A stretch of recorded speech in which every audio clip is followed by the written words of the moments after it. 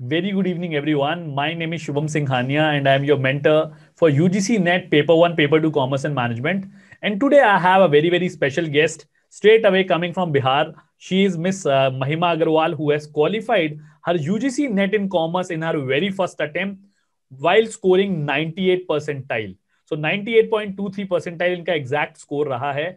And today we are going to have a discussion with her इनकी journey के बारे में बात करेंगे एंड आई एम श्योर कि इनकी जर्नी uh, से आपको बहुत कुछ सीखने मिलेगा। So heartiest congratulation Mahima for this wonderful success in UGC net exam and welcome to our channel thank you thank you so much sir Mahima सबसे पहले आप बताइए कि यूजीसी नेट एग्ज़ाम क्रैक करने से पहले what all courses have you pursued कब आपने अपनी ग्रेजुएशन करी? कब आपने अपनी मास्टर्स करी?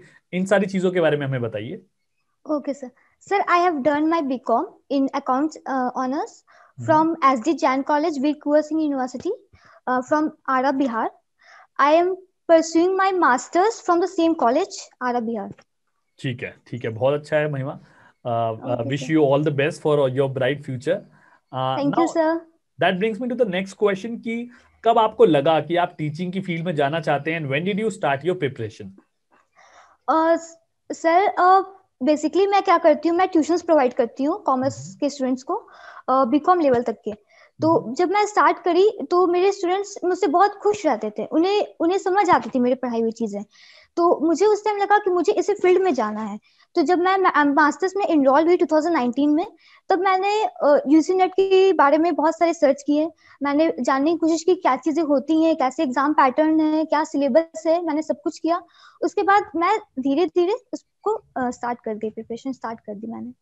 आई थिंक महिमा सबसे इंपॉर्टेंट चीज़ क्या है जो मैं कहता हूँ हमेशा अपने लाइव सेशन के अंदर कि किसी भी एग्ज़ाम को देने से पहले एग्ज़ाम को जानना बहुत ज़रूरी है। एंड आई एम श्योर कि आपने वही किया आपने सबसे पहले एग्ज़ाम को पैटर्न को समझा चीज़ों को समझा कि किस तरीके से यूजीसी नेट का एग्ज़ाम आता है क्या क्या सिलेबस है उसका एंड उसके yes. बाद आपने अपनी प्रिपरेशन शुरू करी which is very very good Mahima मेरा नेक्स्ट क्वेश्चन ये है कि uh, क्योंकि आप घर से अपनी तैयारी कर रहे थे सेल्फ स्टडी कर रहे थे तो what has been the study material क्या स्टडी मटेरियल आपने यूज़ किया? क्या आपने बुक्स यूज़ करी? क्या आपने यूट्यूब वीडियोस देखी? उसके बारे में कुछ हमें बताइए। Sir for paper one I have book by KVS Madan sir and for paper 2 i have books uh, of my uh, graduation and post graduations uh, sir और मैं गूगल भी गूगल से, मैं क्या करती थी, मैं सिलेबस का प्रिंट आउट मैंने रखा था। मैं टॉपिक वाइज गूगल में सर्च करती थी यूट्यूब पे सर्च करती थी। मैं अपने नोट्स प्रिपेयर करती थी मैं बुक से पढ़ती थी बुक से हेल्प लेती थी। तो सबसे फ़र्स्ट एंड फॉरमोस्ट थिंग आपके पास, आपका सिलेबस होना चाहिए, आपको पता होना चाहिए कि आपको क्या क्या पढ़ना है, आपको क्या क्या आने वाला है एग्ज़ाम में। तो मैं ये करती थी सर, मैं नोट्स प्रिपेयर करती थी नोट्स से पढ़ती थी गूगल से पढ़ती थी यूट्यूब से पढ़ती थी। सर, आपका चैनल बहुत हेल्पफुल था। मैंने आपके सारे लाइव क्लासेस देखे थे और रिकॉर्डेड लेसन भी देखे थे मैंने। ठीक है thank you so much Mahima for saying that because जैसे मैंने पहले भी कहा है कि हमारे हर बार स्टूडेंट्स यही कहते हैं और मैं भी अपने स्टूडेंट से यही कहता हूँ कि आप कहीं से भी पढ़िए चाहे आप हमारे चैनल से पढ़िए कहीं से भी पढ़िए अगर आपने कंसेप्चुअल क्लैरिटी ले ली है तो आपको कोई नहीं रोक सकता यूजीसी नेट एग्ज़ाम क्रैक करने में। Right Mahima that brings me to the next question क्योंकि आप अपनी एमकॉम की पढ़ाई भी कर रहे थे साथ साथ आपकी पोस्ट ग्रेजुएशन भी चल रही थी सो so, आपका डेली रूटीन क्या था? कितना टाइम आप डिवोट कर पाते थे अपनी तैयारी के लिए? इसके बारे में कुछ बताइए। सर uh, मैं daily six to seven hours अपनी स्टडी को दे सकती दे पाती थी। uh, वो डिपेंड करता है स्टूडेंट टू स्टूडेंट कि आप कितना टाइम दे पा रहे हो।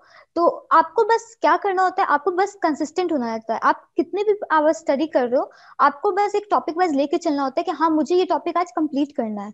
I have to complete this topic and I am going to solve MCQs on that topic तो ऐसे अगर आप चलेंगे, आपकी स्ट्रेटजी ऐसी रहेगी, अगर आपके टाइम टेबल रहेगा तो आप बहुत अच्छी तरीके से आपकी स्टडी धीरे धीरे आगे बढ़ेगी और आपकी प्रिपरेशन बहुत अच्छी होती जाती है। महिमा आई एम श्योर कि मुझे आपसे बात करके लग रहा है कि आपने बहुत सिस्टमैटिकली चीज़ों को कवर किया है। जैसे आपने कहा कि सबसे पहले टॉपिक को पढ़ो कंसेप्चुअल क्लैरिटी लो देन एमसीक्यूज लगाओ तो उससे पता चल रहा है कि आप एक मेटिकुलस प्लानर भी हैं। So very well done on that I am sure कि जो आप स्ट्रेटजी शेयर कर रहे हैं वो बहुत हेल्पफुल होने वाली है स्टूडेंट्स के लिए।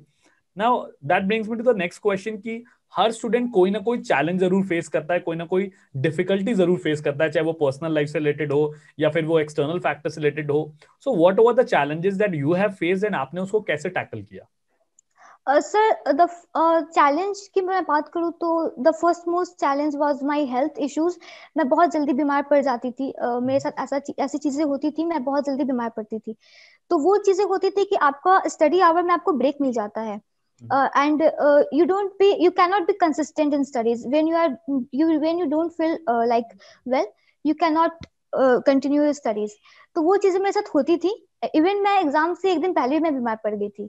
तो इट वाज लाइक कि मैं एग्ज़ाम से पहले मैं कुछ भी मैंने कुछ भी नहीं पढ़ा था। uh, क्योंकि मैं बीमार थी and I was not able to revise all things so मैं ये कहना चाहती हूँ कि आप अपनी हेल्थ पे बहुत ध्यान दें। uh, बहुत इंपॉर्टेंट है कि आपका हेल्थ आप से आपका साथ देगा तभी आप हर चीज़ें अच्छी तरीके से कर सकते हैं। तो हेल्थ पे ध्यान देना बहुत ज़रूरी है।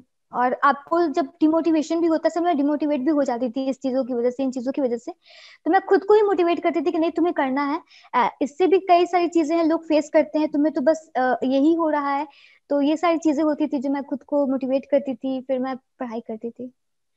महिमा आई थिंक आपने जो बताया that is very very unique and very very important because कई बार ऐसा होता है कि स्टूडेंट्स तैयारी करने के चक्कर में बहुत डिमोटिवेट भी होते हैं एंड yes. अपनी हेल्थ का भी ध्यान नहीं रखते हैं। Yes, तो अगर हमारी राइट तो अगर हमारी हेल्थ ही अच्छी नहीं होगी तो हम एग्ज़ाम की प्रिपरेशन कैसे कर पाएँगे? सो आई थिंक बहुत इंपॉर्टेंट चीज़ है कि आप हेल्थ पे भी ध्यान दें। Now Mahima that brings me to the next question कि एक स्टूडेंट का एक परसेप्शन बन गया है कुछ ग्रुप ऑफ़ स्टूडेंट्स का कि uh, अगर हम सिर्फ़ पास्ट ईयर्स लगा के चले जाते हैं तो हमारा एग्ज़ाम क्रैक हो जाता है।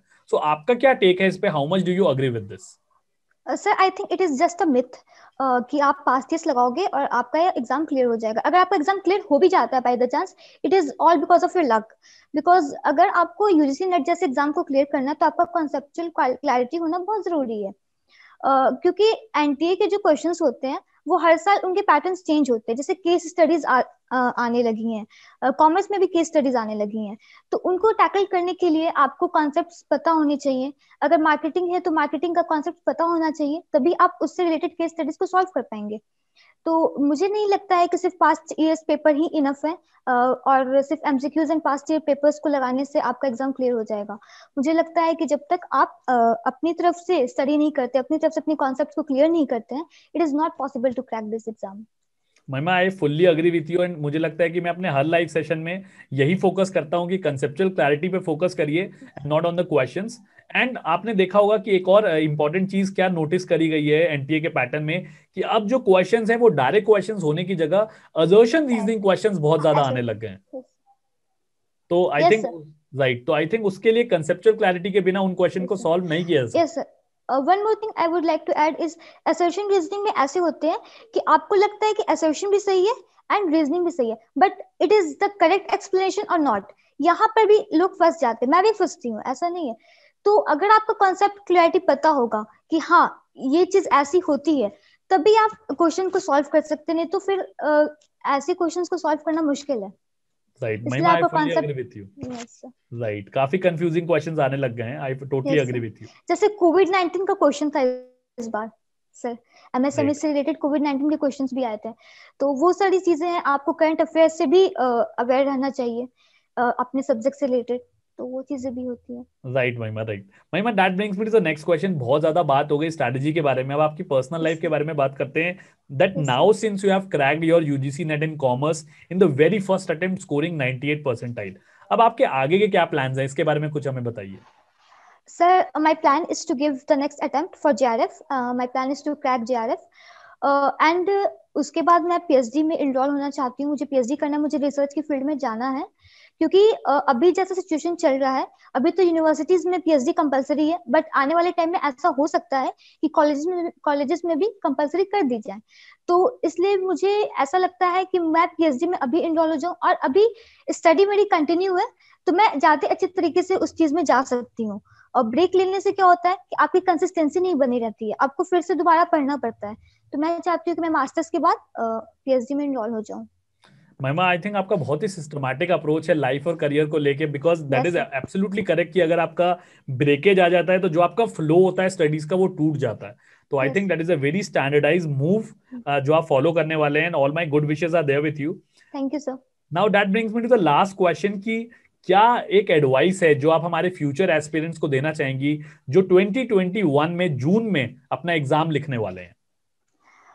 सर uh, मैं यही एडवाइस देना चाहूँगी कि आप सबसे पहले जो चीज़ें मैंने फेस की सबसे पहले जिसकी वजह से मेरा जेआरएफ छूटा है उसको मैं मेंशन करना चाहूँगी that was exam fear sir उसके पहले मैंने आज तक कोई भी एग्ज़ाम नहीं दिया था, इस एग्ज़ाम से पहले। मैंने किसी भी कंपटीशन की, किसी भी चीज़ का आज तक फॉर्म भी नहीं भरा था तो मैंने एग्ज़ाम दिया भी नहीं था।